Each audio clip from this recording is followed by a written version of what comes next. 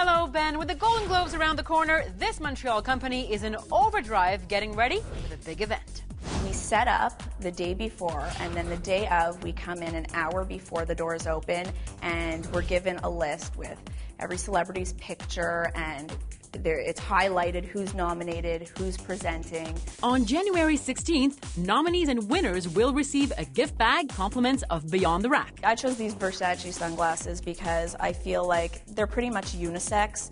They look good on any face. The exclusive invitation only online boutique is a favorite shopping destination for some of Hollywood's biggest stars. We have members like Jennifer Love Hewitt, Neil Patrick Harris, even Alex Trebek,